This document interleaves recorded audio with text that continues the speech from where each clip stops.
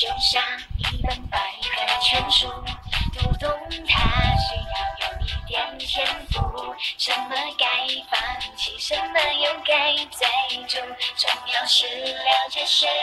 值得你付出。我们总是轻易被表麻木，忽略了内心想要的满足。相爱和相处都是一种领悟。